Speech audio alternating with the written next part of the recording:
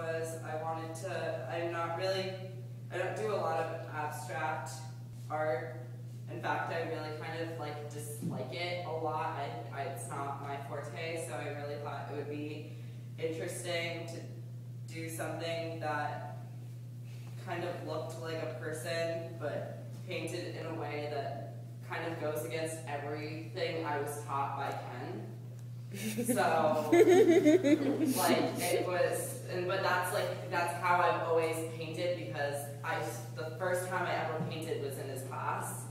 So, I wanted to really, um, just kind of do something very gestural and I lost parts of it, like blank, and other parts, um, like with paint. And, um, I don't really know what it means, but I like the that there's like, it's a figure with a line going across its eyes, like it's blinded. Like maybe someone could draw some meaning from that. I feel like the line it should be more I don't know like a solid color, cause I think it should like make a high contrast between the figure and the line, cause I feel like it's like cause it's mixed with like different colors. It feels like it's like one. Like I don't know. Yeah, my personal opinion. English are like do a lot more.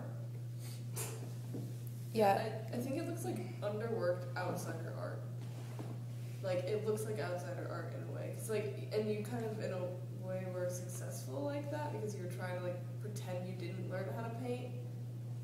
So is that what outsider art means? yeah, it's like people who are untrained and haven't had, and often it's like inmates and people who are crazy and stuff. Yeah, I mean, I like that you went like a different direction than what you normally do, but I think that the face looks like you, and I think that you do a lot of art that's like focused on yourself because you are a fashion designer. So you kind of like work from your own body, and I don't know if you meant to do that. Okay, well this is fucking bullshit. I'm sorry, but like, I spend so much time on these fucking projects.